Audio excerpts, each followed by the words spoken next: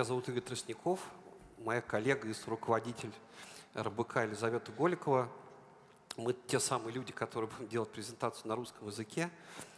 Спасибо за эту возможность, спасибо за приглашение, спасибо за возможность выступить и рассказать э, э, о том, ну, что нас действительно заботит последние много месяцев. Мы когда выбирали тему для выступления, много всего перебрали, у нас много разных проектов. Мы обновляли дизайн газеты, делали еще что-то, еще что-то. Сейчас мы думаем о том, что делать с нашим телеканалом.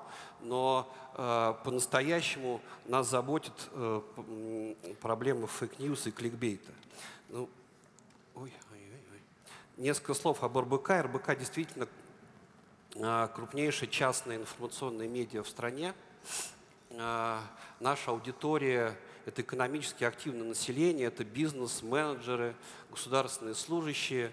Э, РБК представлен практически на всех платформах э, телеканал, газета, журнал и сайт, который входит ну, там, в пятерку ведущих э, новостных порталов России.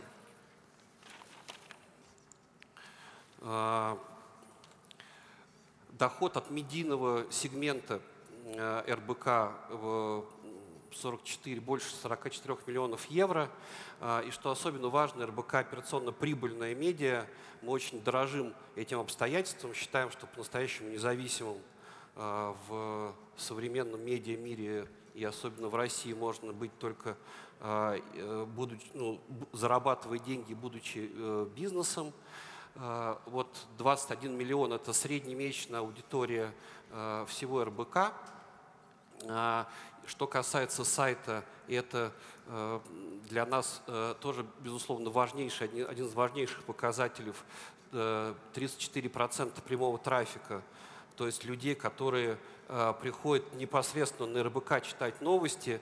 Эти цифры мы тоже очень дорожим, хотим, хотели бы, чтобы она была больше. И очень беспокоимся, в том числе, чтобы она не стала меньше из-за кликбейта. А, ну и две цифры, которых здесь нету, это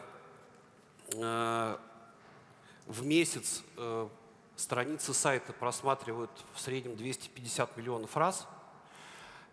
И у нас, как и в, вообще в целом в новостном сегменте интернета, бурный рост мобильного потребления плюс 25% за год.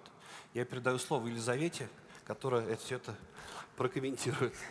Я хотела два слова сказать по поводу того, что из себя представляет сейчас российский рынок СМИ.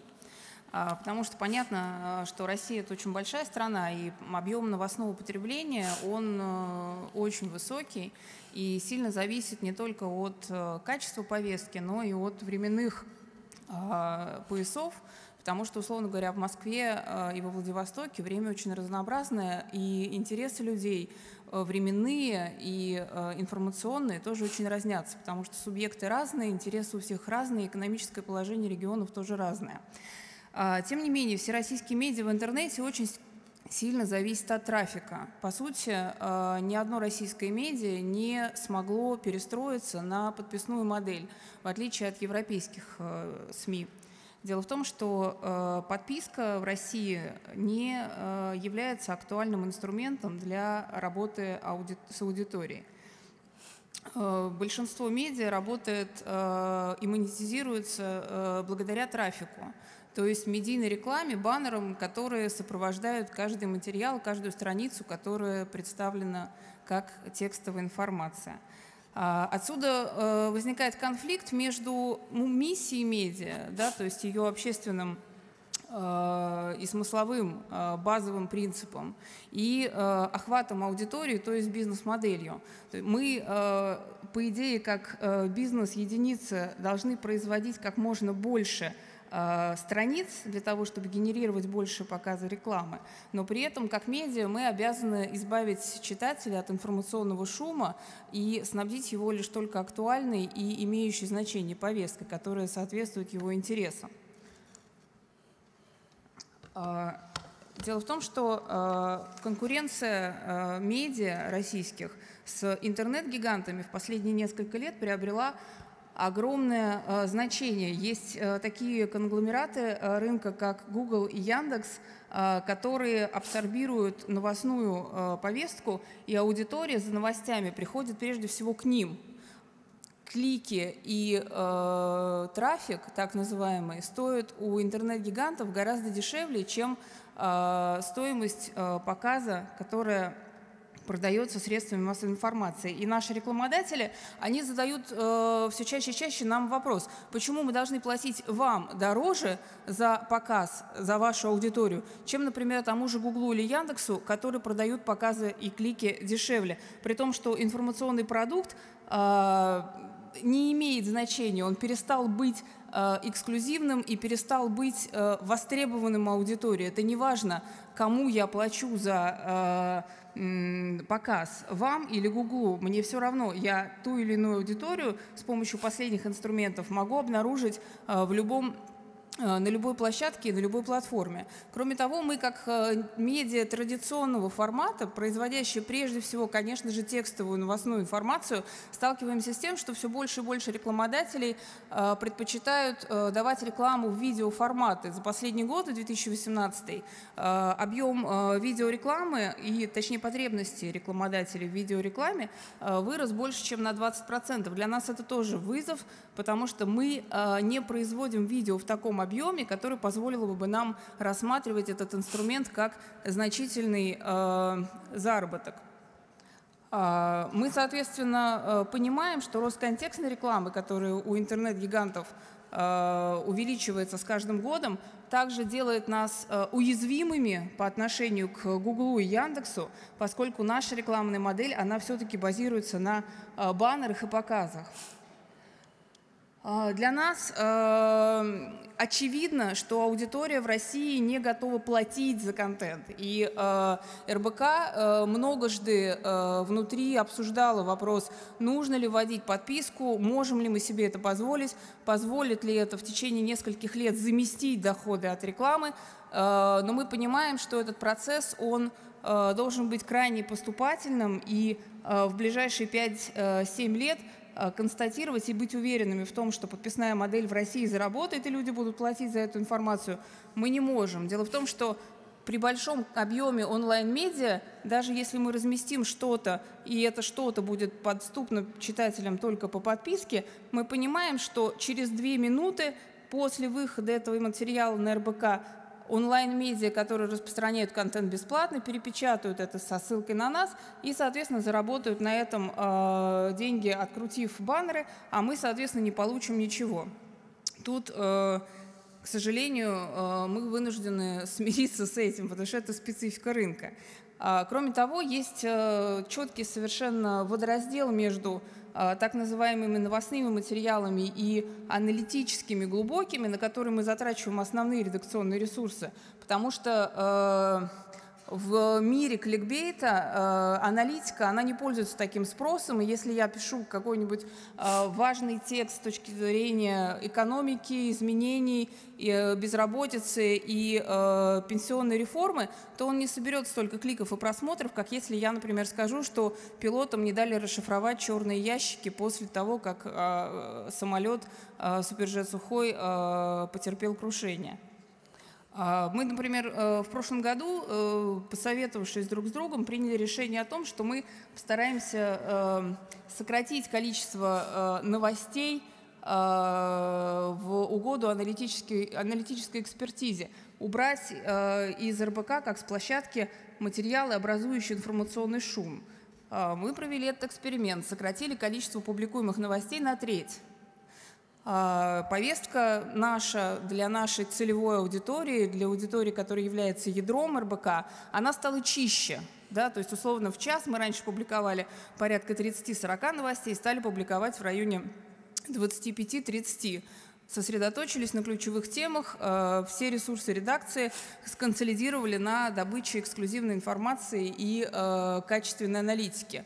Э, что мы получили через 8 месяцев эксперимента? Мы поняли, что трафик у нас снизился, причем это снижение стало для нас ощутимым, и мы поняли, что тот объем трафика, который мы получили на увеличившийся на увеличившемся объеме экспертизы на качественных материалах, на эксклюзивной повестке, он нам не компенсирует тот объем трафика, который мы недополучили на новостях и том, что называется информационный шум. Поэтому Э, нам пришлось и приходится сейчас э, интенсивно думать о том, каким образом, с одной стороны, э, оставаться качественным СМИ, а с другой стороны не терять возможности для своей монетизации, потому что, как сказал мой коллега, для нас ключевым моментом является получение прибыли и возможность зарабатывать, поскольку мы, будучи частным СМИ, не получаем дотации ни от государства,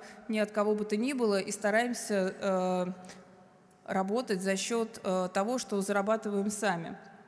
Э, собственно, откуда берется кликбейт на российском рынке? У нас есть так называемые новостные агрегаторы, которые, э, которые являются главными, доминирующими заходными страницами для аудитории. Это Яндекс и Google.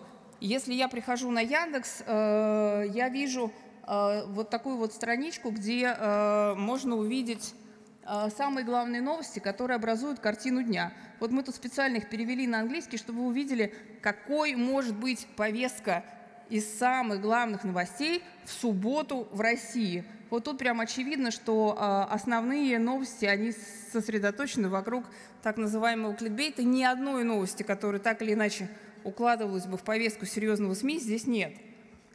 Одновременно с этим мы имеем вот такого рода примеры, когда умирает какой-нибудь э, человек из числа селебрити. Э, есть СМИ, которые позволяют себе делать онлайн-трансляции смерти. И вот последний пример, который случился месяц назад – Э, умерла некая певица, которая в начале 90-х была достаточно популярна, не сильно популярна, но достаточно. И одно из СМИ сделало онлайн-трансляцию смерти, куда поместило всякие подробности, высказывания, сострадания, комментарии и так далее, собрав на этом 6 миллионов уникальных пользователей и опубликовав э, в 200 материалов, касающихся ее смерти. А для нас э, кликбейт, конечно же, это угроза, как, собственно, и для многих качественных СМИ – потому что качество трафика снижается, аудитория размывается, бренд становится менее э, влиятельным, потому что РБК э, является одним из самых влиятельных медиа в России. И для нас влиятельность, она выражается в большом объеме аудитории, образующей наше ядро. Это порядка 40% людей из общего объема трафика, которые заходят в РБК напрямую на главную страницу. Кроме того, а, мы понимаем, что кликбейт, э, как распространяющаяся э, эпидемия, она заставляет нас очень много ресурсов редакционных тратить на проверку информации. Мы вынуждены были создать отдельное подразделение, которое занимается проверкой тех новостей, которые попадают в Яндекс и э, собирают вокруг себя огромный объем аудитории понимая, что мы не можем просто перепечатывать эту информацию, поскольку являемся качественным медиа, мы были вынуждены этих людей Э, натренировать на то, чтобы эту информацию проверять, доказывать или опровергать. Это позволяет нам, опять же, в информационных трендах, э, ну так скажем, не терять ту аудиторию, которую мы могли бы. Э, ну а почему А почему кликбейт – это возможность? Потому что э, она заставляет нас, э, вся эта история, да, которая сейчас происходит в медиа, она заставляет нас думать о том, а что мы можем сделать, и э, заставляет нас лучше понимать аудиторию. Э, безусловно, э, пытаясь понять, что же мы можем сделать, чтобы сохранить, с одной стороны, наши финансовые показатели, а с другой стороны, удержать аудиторию, мы вынуждены меняться. Э, и, э, по сути дела, по сути дела, э, эти изменения э, заставляют нас придумывать переходные модели для того, чтобы выжить. Игорь. Ну вот э, один из наших экспериментов, который мы начали два месяца назад, это такой специальный формат, сделан для агрегаторов. Это то, что это новости, которые мы пишем вот по таким общественно интересным сюжетам которые мы бы, в принципе, наверное, бы не взяли на главную страницу. Их и не видно на главной странице, они отдельно помечены, э, что это сделано для агрегаторов, публикуются они э, на главной странице РБК, они тоже не публикуются. Это такая для нас, знаете, э, ну, такой элемент персонализации новостей э, на основе привычного э, для пользователя среды потребления. Там, э, тем, кто хочет читать э, качественную информационную повестку, приходят на РБК э, напрямую и читают. Тем, кому нравится через агрегаторы, приходят через агрегаторы. И, возможно, мы часть из этой аудитории сделаем своей. Ну, вот этот эксперимент, как я уже сказал, несколько месяцев. Э, мы будем смотреть, что получается. У нас разные есть отзывы в профессиональном сообществе. Это э, кто-то принял, кто-то нет. Э, мы, как СМИ, которые беспокоимся за репутацию бренда, пока окончательного решения не приняли и думаем о том, что, в принципе, это можно было бы развить в такую линейку линейку или на несколько блоков можно было бы сделать такой RBC Lite, такой информационный фастфуд, куда бы попадали такие легкие, близкие к кликбейту новости в том числе, оставить наш э, главный сайт.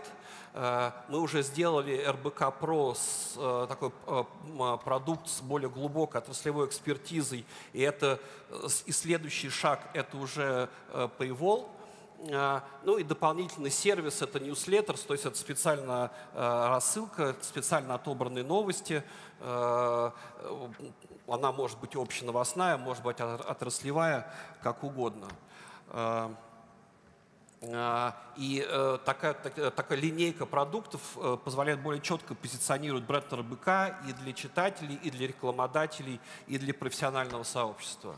А, конечно, это потребует каких-то там более глубоких э, организационных изменений. Ну, вот Лиза уже сказала, что у нас есть подразделение, которое занимается проверкой фейк-ньюс. Э, а, у нас есть выпуск, который пропускает через себя как фильтр огромное количество информации, выпуская там в день до 200 сообщений. И у нас есть отраслевая редакция, которая, а, ну, основная задача которая это эксклюзивы и постновостная аналитика. И эта же линейка а, продуктов позволила бы нам сделать такую вести систему KPI. А, у новостной команды это были бы KPI чисто по трафику. У отраслевой редакции уже сейчас есть а, такой сложный синтетический KPI, э, в котором учитывается прямой трафик, цитируемость, а, дочитываемость э, публикаций, э, шеринг в социальных сетях. Ну, а в RBC Pro это KPI, это ну, как бы, собственно, количество подписчиков, э, конвертация э, э, пользователей в подписчиков, можно так сказать. Ну и, и, да, и возвращение. Ну, это, собственно, все такое, была такая презентация практического опыта работы в мире кликбейта. Спрашивайте про свободу слова. Спасибо. Спасибо.